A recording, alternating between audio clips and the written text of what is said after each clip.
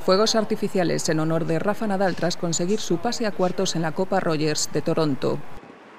El español se ha deshecho del sudafricano Kevin Anderson, número 87 del ATP, con un 6-2 y 7-6 que se complicó en el segundo set.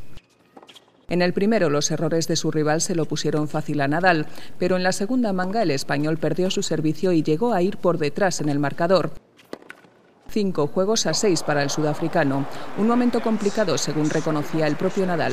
Sí, una victoria importante para mí. Estaba jugando muy bien en el primer set.